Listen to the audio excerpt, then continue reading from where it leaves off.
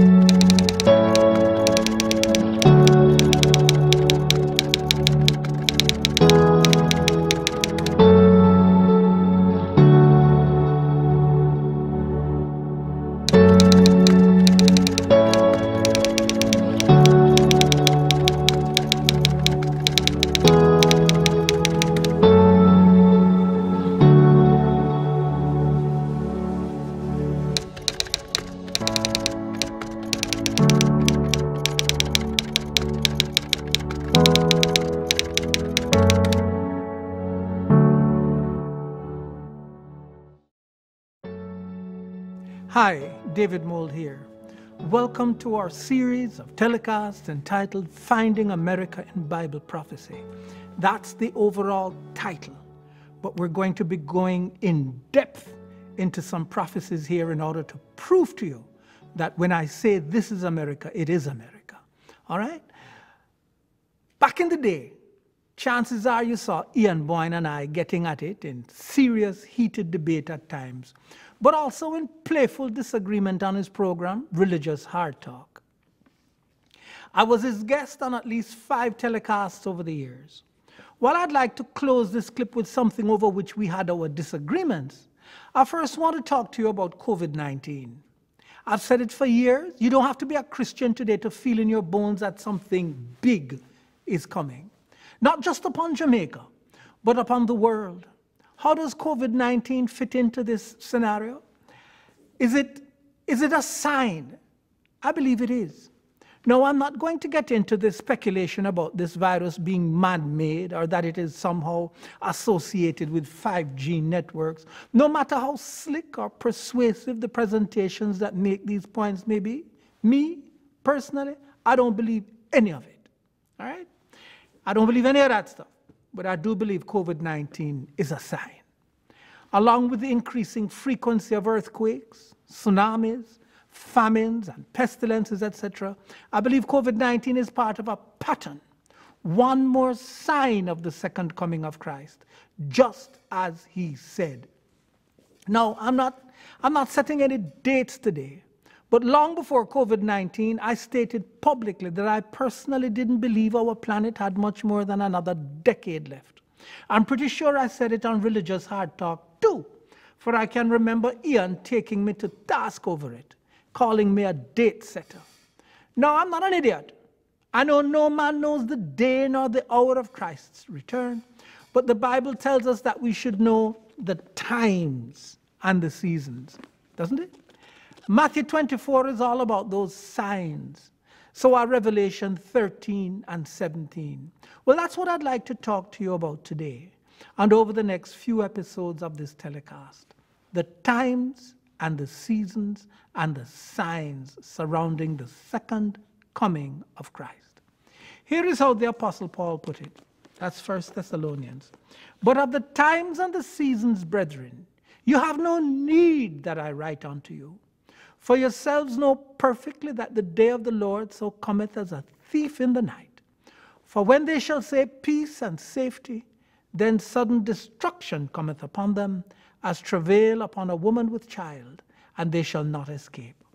But you, brethren, are not in darkness, that that day should overtake you as a thief. You are all the children of the light and the children of the day. We are not of the night, nor of darkness. Therefore, let us not sleep as do others, but let us watch and be sober. 1 Thessalonians 5 1 to 6. Let's look at this. There are four things here that I want you to note. First, Paul says, You don't need me to write you. Here it is again. But of the times and the seasons, brethren, you have no need that I write unto you. The times and the seasons of what? The times and the seasons of Christ's second coming. How do we know that's what he's talking about? Because the previous chapter ended with Christ's second coming, with the graves opening up and with Christ coming in the clouds. Here it is For the Lord himself shall descend from heaven with a shout, with the voice of the archangel and with the trump of God, and the dead in Christ shall rise first. Then we which are alive and remain shall be caught up together with them in the clouds to meet the Lord in the air, and so shall we ever be with the Lord. That's 1 Thessalonians 4 16 and 17. That's how the previous chapter closed. So that's what he's definitely talking about the literal, visible, climactic second coming of Christ, which your eyes and my eyes will see according to the word of God, and your ears and my ears will hear.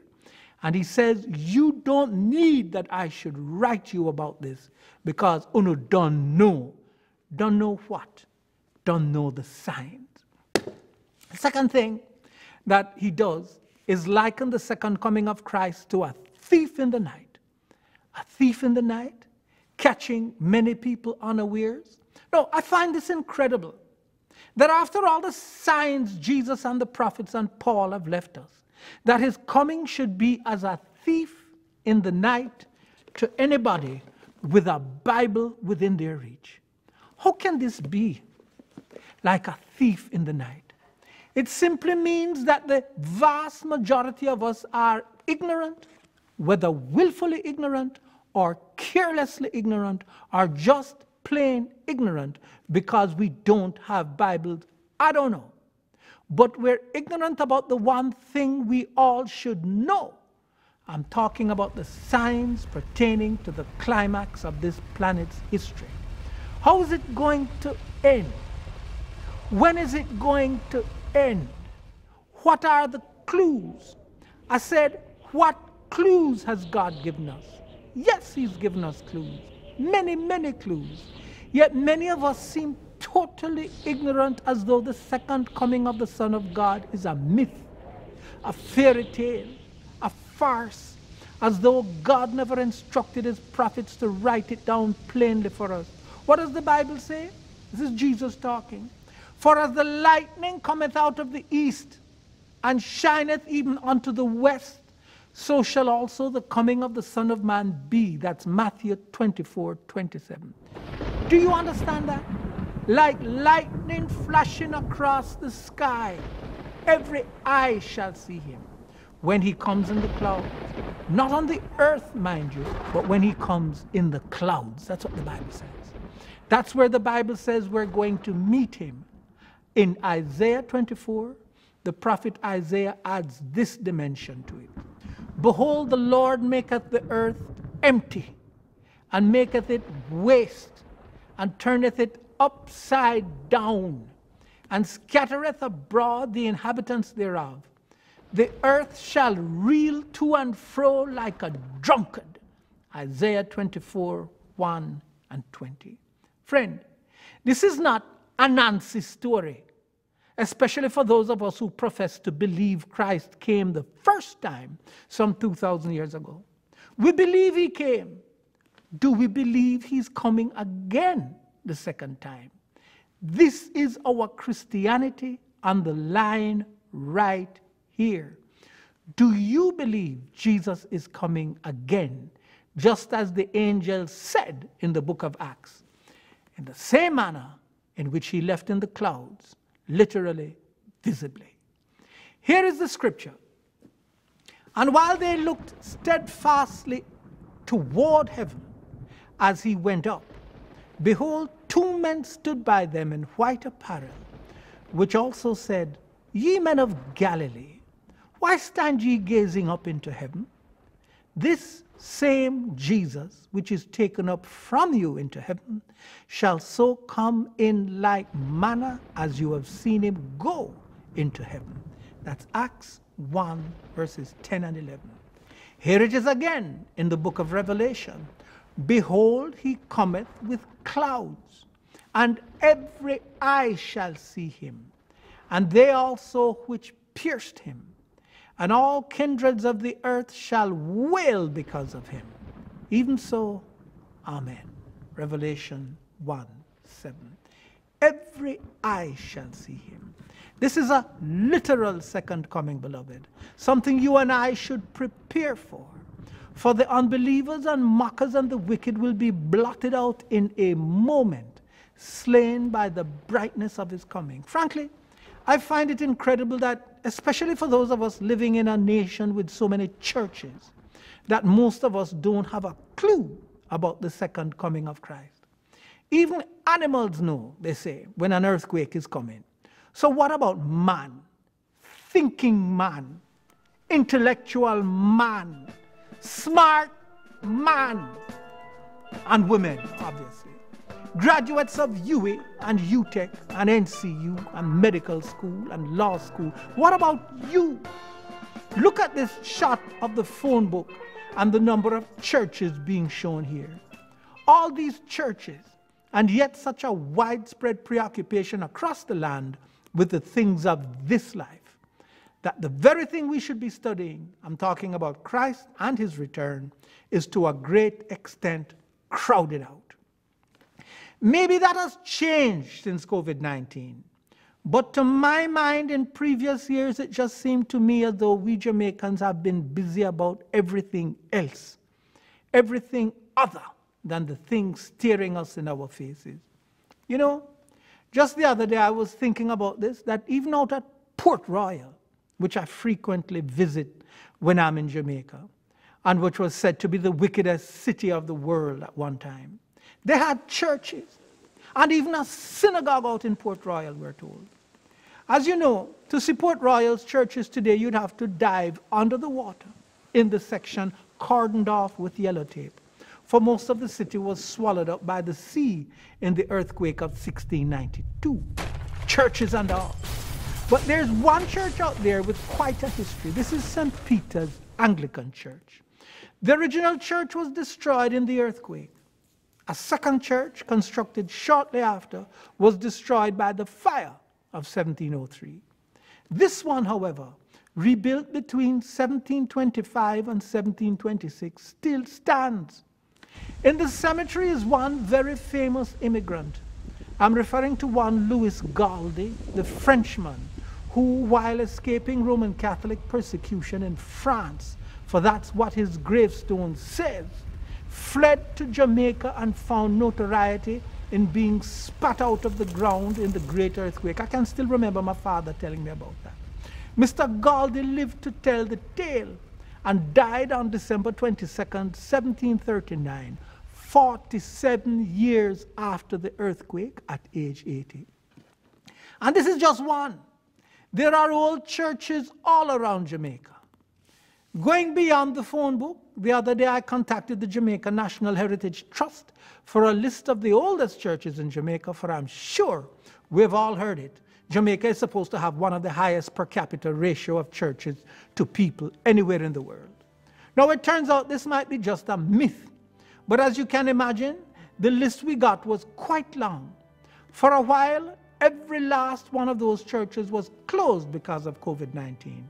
But thank God for the most part, they're open again. We can not only drive up to them and admire them and photograph them, we can worship in them. Some of them are situated right near the seaside and make you just want to sit down and relax, like, like you would have never leave church. Now, I obviously can't show you all the churches in our land, but Jamaica is full of them. Those on our screen were chosen either for their age, architecture, beauty, or location. Remember, Jamaica was a British colony, so the majority of the older churches are Anglican or Church of England. The two on North Street in Kingston are not. This one on the campus of St. George's College is Roman Catholic and was founded in 1850. Man, what a shot. Look at that on your screen. What a shot. And while this one, almost just across the street from it, is the North Street Seventh day Adventist Church, it was founded in 1900. Now, this church on Orange Street in Kingston has particular meaning to me. It's the assembly hall of the Christian Brethren. I used to pass it every time I went downtown on the bus as a child, and I've never forgotten that sign. Prepare to meet thy God. A few years ago, I had the privilege of going inside that church for the first time as we interviewed a dear saint whom we saw struggling to make her way to church one Sunday morning. Deceased now, she was 80 year old Ruby Carrington. Remember now, we're looking at churches this morning as we ponder the words of the Apostle Paul that Christ's second coming will be as a thief in the night for many. With so many churches around, even in the high crime inner city communities of Denham Town and Tivoli Gardens in West Kingston, even in the poorer communities that have grown up around what was at one time top class areas of Kingston. I know, because my parents told me. Churches like this one, the Wesley Methodist Church on Tower Street, which has been vandalized many times, I find it incredible that anyone here in my homeland should be ignorant of the second coming of Christ. So the question this morning, rhetorical for sure, is this. How many of the sanctuaries across our land reared up to give glory to God and His Son, having an eye towards the second coming of Christ? How many of them really do have an eye towards that second coming? I hope all of them. All right? What have we said thus far? What does Paul tell us in this passage in 1 Thessalonians 5? One, you don't need me to write you. Two, Christ's coming will be like a thief in the night. The third thing Paul does in this passage is liken the second coming of Christ to a woman in labor. Listen to him. For when they shall say peace and safety, then sudden destruction cometh upon them as travail upon a woman with child, and they shall not escape. That's 1 Thessalonians 5 3. Labor pains. Ask any woman who has given birth. Those pains might be slow at the beginning, but as the time comes for that baby to be born, those pains become sharper and more intense. That's what the second coming of the Lord will be like, like labor pains. The signs of his appearing will become more rapid and more intense tense over the years. To my mind, without a doubt, COVID 19 is one of those signs, for Christ especially pointed to pestilences or disease of every stripe as one of the signs that would precede his second coming. But David, you might say, pestilences have been around from man has been on the earth. Why is this one a sign and not polio? or the Spanish flu pandemic of 1918 that infected an estimated 5 100 million people and killed 50 million? I'll give you the answer. It has to do with where we are in the history of our planet, beloved. If the Bible is to be believed, we're on the border of our 6,000th year since Adam. You know what that means? As a friend of mine put it, we're about to push. That's a woman, of course, using that language. For those of you watching this on the internet who may not be Jamaican, that term about to push is normally associated with a woman at the point where she has to push, has to contract her muscles to push that infant out. That's what my friend was saying. This planet is about to push. But I'll get back to that. I promise. All right. The next thing Paul says is this But you, brethren, are not in darkness that that day should overtake you as a thief. You are all the children of light and the children of the day. We are not of the night nor of darkness.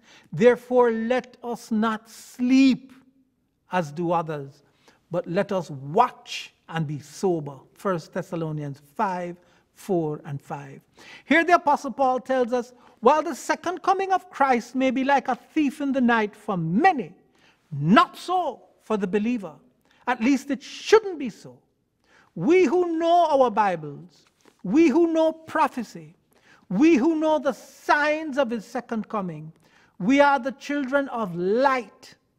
Because of the ignorance of Bible prophecy, the world has lost so much. But we who know the word, we who know what the Bible predicts, we who know what is coming should be able to teach it and are in fact under obligation to teach it to rich and to poor, the small man and the prime minister, if he's watching, as I am doing this day. We should be able to teach it to all. Preaching it, though, can come with quite a price. But I won't say more than this right now. Here is Jesus in what's known as the Great Commission Go ye therefore and teach all nations baptizing them in the name of the Father and of the Son and of the Holy Ghost, teaching them to observe all things whatsoever I have commanded you. And lo, I am with you always, even unto the end of the world. Amen. That's Matthew 28 19 and 20. These are Jesus' marching orders to his followers, and that's why I'm opening my mouth today. He said, Go and teach, and that's what I'm doing today. COVID 19 and the fears and uncertainty and conspiracy theories surrounding COVID 19 make it imperative that I open my mouth today. Why? Because I fear too many of us, while we might sense something coming, we don't have a clue as to what it really means. And that, that really doesn't sit well with me at all. That I should know what is coming, and that my church should know what is coming, and yet you not know what is coming. Come, my friend. If you have a desire to know what else is coming, then let's open our Bibles together. You know, what I said about COVID 19 being a sign, much more so than the Spanish flu, it, it, it's sort of bothering me. I don't want to get into the issue of the 6,000 years just yet, for that's going to involve taking our cameras far, far away to the Greek island of Patmos, to which the oldest surviving disciple, John, had been banished. Why?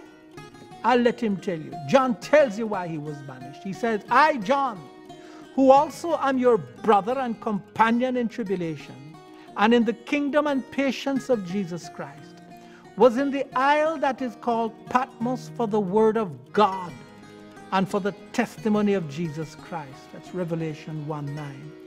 John was banished to the isle of Patmos for the word of God. Let me tell you something. It's not in the Bible, but we're told, Tertullian tells it and others, that John was cast into a pot of boiling oil by the Emperor Domitian. And when he wouldn't boil, and they pulled him out and there was no harm on him, that's when he got banished to Patmos. Like I said, it's not in the Bible, that's tradition. Those were the days, my friend, when you paid a price for being a Christian. John paid that price. Back then, Patmos was a penal colony a barren place, a desolate place, a place where the Roman emperors banished criminals. But look at it today. It is believed that the book of Revelation, which sheds enormous light on the concept of our earth having been allotted 6,000 years, might actually have been written from this cave. But let's save that for later. After we find America in the Bible, we can tackle the notion of all this planet has is 6,000 years, which I happen to believe, by the way. Today, I'd like to wrap up this section of our talk by pointing you to one verse from the lips of Jesus.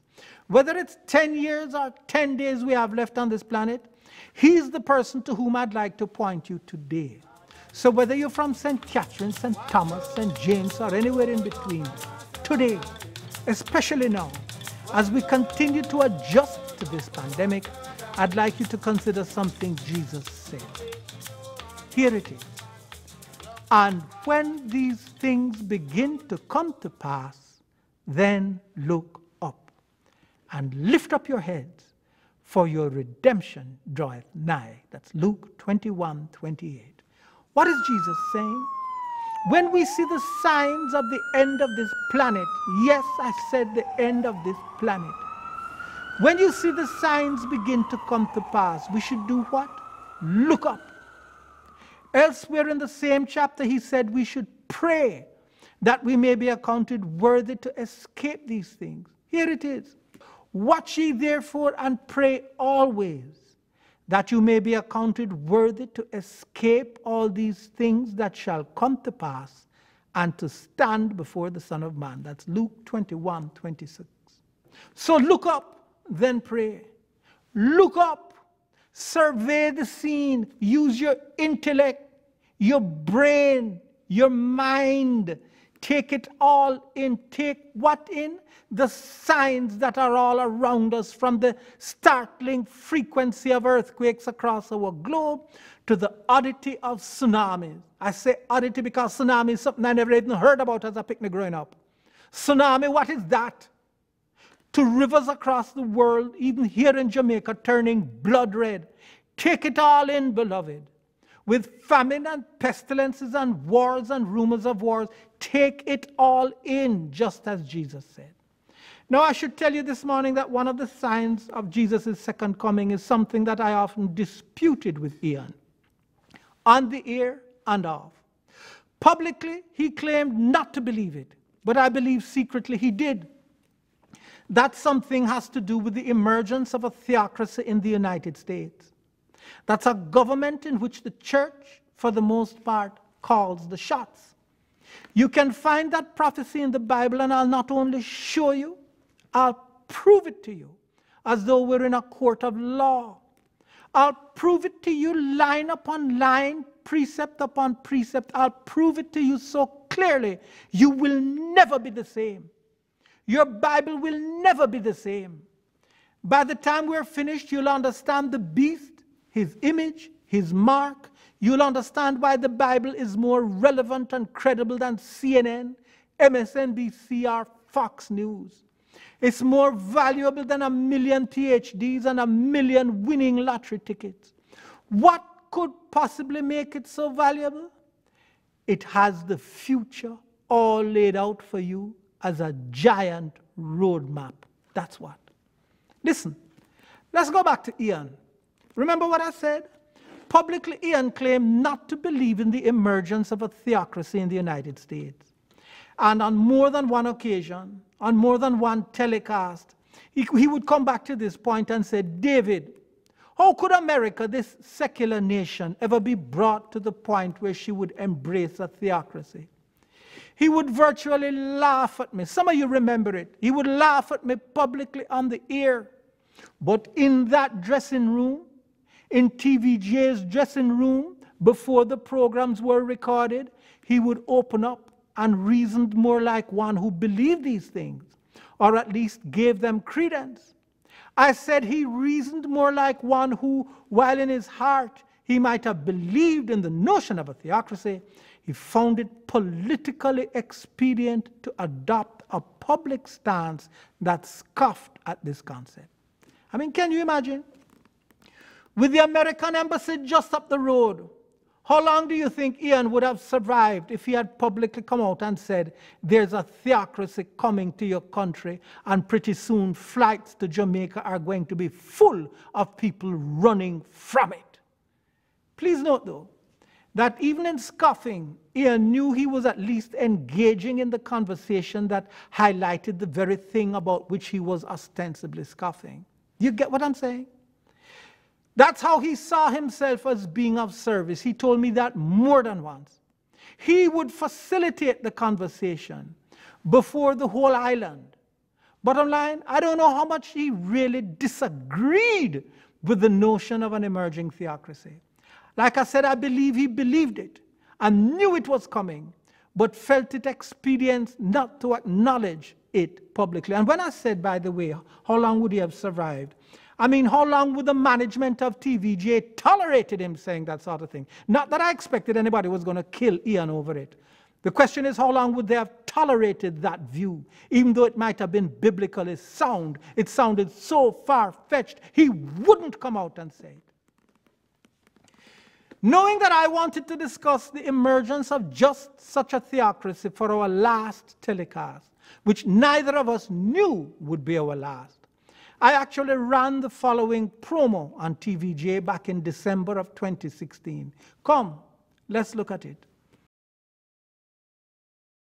Hi, David Mould here. Some of you still in shock over the Trump victory. Let me politely address Ambassador Moreno and the U.S. Embassy staff. The State Department won't tell you this because they don't know. But according to the Bible, there are more shocks ahead. Let your colleagues know. Let the president know. Most of us would probably live to see a theocracy emerge right there in the United States. Theocracy? Yes, with the church in control of the state. On Religious Hard Talk next Tuesday night, I'll tell you more. Theocracy? That's what I said then. Today, almost four years later, I'm saying even more. Look closely.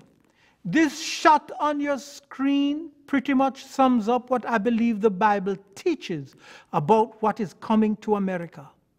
How could it happen in America? I'll tell you. For one, let's never forget President Trump's pledge to grant more power to the church. Here he is saying it himself. I'm Protestant, I'm Presbyterian. Are you surprised to hear that? Yeah. The, the power of of our our group of people together. I mean, if you add it up, I was trying to do it the other day. I was with one of the, the great ministers. And I said, you know, if you think about this country, because now you're talking about men and women, you're talking about together. So the group is larger, Christians, Christians in this country, is larger than men or women. And I said, How many Christians do you think? And it could be like 240, 250 million, you know, a big portion of, and yet we don't exert the power that we should have. Now, I think some of the churches are afraid of their tax status, to be honest. You know, they're afraid they're going to lose their tax status if they get too political. Um, some of them just can't endorse. But you know, the fact is that there's nothing the politicians can do to you if you band together. You have too much power. But the Christians don't use their power. And by the way, Christianity will have power without having to form. Because if I'm there, you're going to have plenty of power. You don't need anybody else. You're going to have somebody representing you very, very well. Remember that. While much of the world focused on COVID 19, in the United States, key moves continued to be made that were no doubt helping to fulfill that pledge. Like what? Like the lifetime appointment of federal judges. What's there to fear from that? Well, there's a movement that's been flying under the radar for years in America, and it's known as dominion theology. Its thesis that America must be ruled by Christians tasked with implementing God's laws across the land.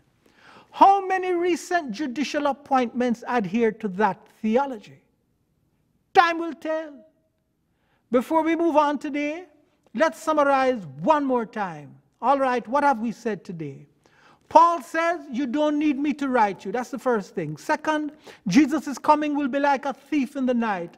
Third, it will be like a woman in labor. Believers are not in darkness. That's number four, like the rest of the world.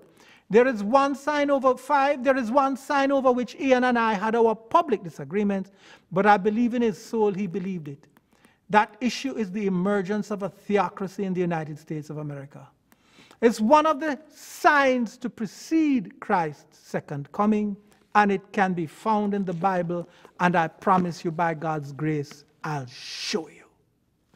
That's what we've said so far. All right, now let's dig in. Where is America found in the Bible? In what verse or verses? That's the question today. It's such an important question that we'll need to pray much as we study and not be careless or superficial in our analysis. Even though we're going to end up in the New Testament, we must start off in the Old, specifically in the book of Daniel. We've got to start there if we're to answer this question where is America in Bible prophecy? For that's where the foundation of our journey is. That's where the smoking gun is. That's where the history is. That's where the clues are in Daniel.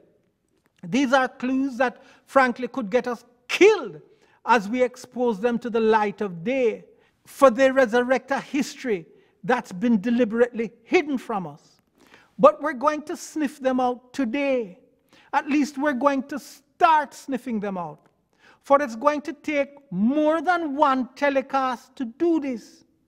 Like Bunyan's Pilgrim's Progress, it's going to take some time to work our way through from the city of destruction to the celestial city. In fact, our foundation over these next few telecasts, and it could, could be a dozen or more, may be much deeper than is strictly necessary. But I am making it deep. I'm taking the responsibility on my own shoulders. I'm making that foundation deep and broad and airtight because I know that after it has been presented, especially here on TVJ, it will have to stand up under the most severe, rigorous, and determined cross examination from those who would like to say this history never occurred. This foundation must be so deep that, that the lawyers for the defense will be hard pressed to challenge it. So be prepared. In the process of our journey, we're going to go to several countries to view for ourselves key pieces of art that will help frame our foundation. But there's one more reason we're going. We're going with our small but dedicated film crew to procure equally priceless video. Video that will hammer home in your mind the strength of our foundation and the accuracy of this trail that will ultimately lead us to America in the Bible. Now, I'm not being funny here, but as we speak about going to look for America, there's a song running through my mind Lord have mercy upon David Mould. You know what that song is? It's Simon and Garfunkel singing. How did they put it? They've all come to look for America. Well, that's what we're doing today. We're looking for America. All right, let's begin. Father God, please help us. No less than you helped Columbus as he set sail from Spain with the Pinta, the Nina, and the Santa Maria. May you help us today as we start our sacred journey. We're looking for America, dear Lord, but not across the Atlantic and not from Saginaw. We're looking for America in your sacred word, the Bible. May you open the eyes of everyone watching this as to the value of this gem, this journey, and to the nearness of the second coming of your Son. Lead us today, we pray, in Jesus' name. Amen.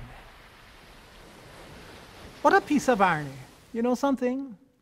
Like Columbus, we too are going to begin our journey from guess where? Spain. You see this picture on your screen? It's a painting by the 17th century Spanish artist Juan de la Corte and is entitled The Burning of Jerusalem by Nebuchadnezzar's Army. There is some scholarly debate about the date of this event, this burning, but the consensus is that it took place either in 587 or 586 BC. I felt this painting was so important for our search for America in the Bible that we actually tracked it down to this location on your screen in Spain. It's going to be one of the shots in the book that we're publishing, the revised edition of the New Illustrated Great Controversy. But I also wanted it here in our opening session of this presentation. What led us to it? The disagreement between Ian Boyne and I that a theocracy will emerge in America. That's what has led us to it.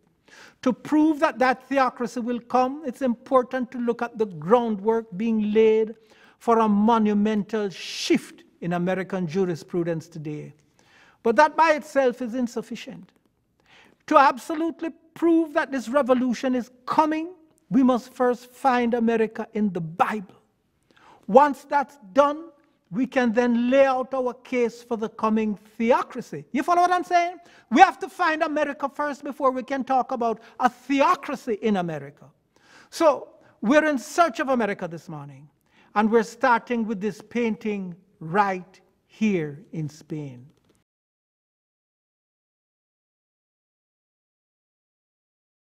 De la Corte's painting captures one of the most tragic chapters in Israel's history. Jerusalem, Israel's capital, and the site of their temple, once located somewhere up here on the Temple Mount, is about to be plundered, its temple destroyed, and thousands of Jews taken captive by King Nebuchadnezzar and the Babylonians.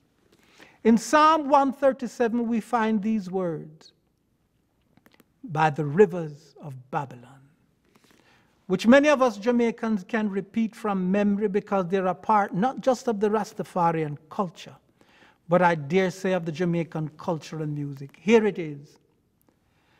By the rivers of Babylon, there we sat down. Yea, we wept when we remembered Zion. We hanged our harps upon the willows in the midst thereof. For there they that carried us away captive required of us a song and they that wasted us required of us mirth, saying, Sing us one of the songs of Zion.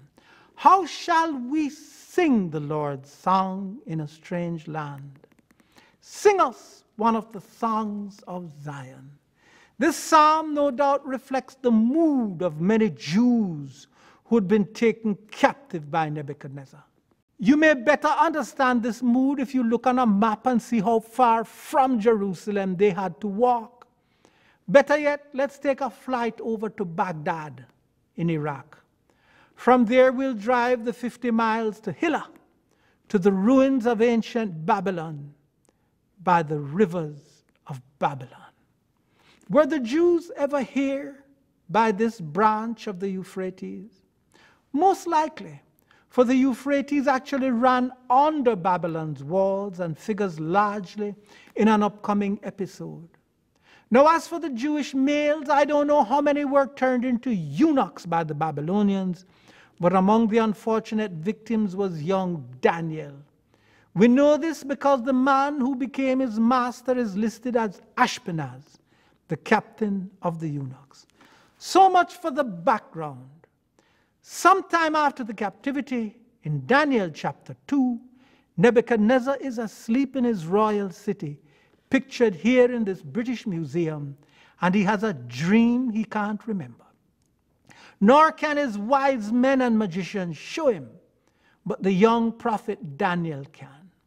God not only shows the captive Daniel Nebuchadnezzar's dream, but gives him the interpretation. Can you imagine that?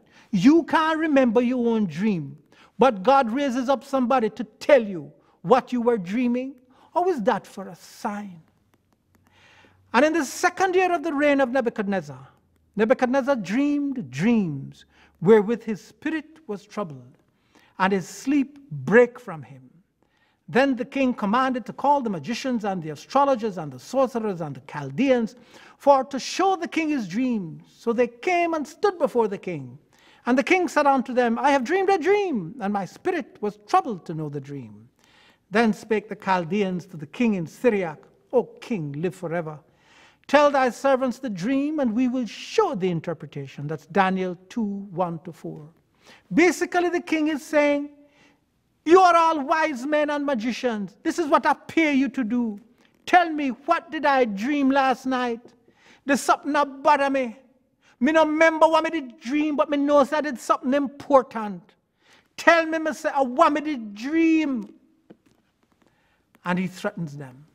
Let's go back to the Bible. The king answered and said to the Chaldeans, The thing is gone from me. If you will not make known unto me the dream with the interpretation thereof, you shall be cut in pieces, and your houses shall be made a dunghill. But if you show the dream and the interpretation thereof, you shall receive of me gifts and rewards and great honor. Therefore, show me the dream and the interpretation thereof. They answered again and said, Let the king tell his servants the dream, and we will show the interpretation of it. The king answered and said, I know of a certainty that you would gain the time, because you see, the thing is gone from me. But if you will not make known unto me the dream, there is but one decree for you. For you have prepared lying and corrupt words to speak before me, till the time be changed. Therefore, tell me the dream and I will know that you can show me the interpretation thereof. The Chaldeans answered before the king and said, There is not a man upon the earth that can show the king's matter. Therefore, there is no king, lord, nor ruler that asked any such thing of any magician or astrologer or Chaldean. And it is a rare thing that the king requires. And there is none other that can show it before the king except the gods whose dwelling is not with flesh. For this cause the king was very angry and very furious and commanded to destroy all the wise men of Babylon. That's Daniel 2 5 to 12. So, did they die? All right, let's take a break here and come back next week to see what happened. God bless you, Jamaica. Keep focused. And as the sign on your screen says, prepare to meet thy God.